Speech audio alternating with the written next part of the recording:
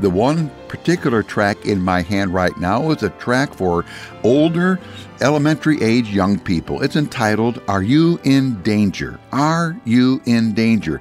This gospel tract begins with a story, a true story about our founder when he was 12 years of age. He's out in a rowboat initially with an adult, but that adult had to be let off on shore.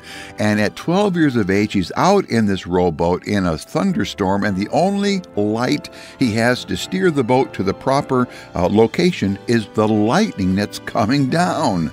Friend, this is a great read. You'll love reading this story, even to your young people, as well as them reading it for themselves.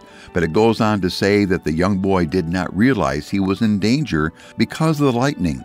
And it makes the point that so many people do not realize they are in danger because nobody's told them of the hellfire that's to come if people do not receive Jesus Christ as Savior. This is a great, great gospel tract for kiddos.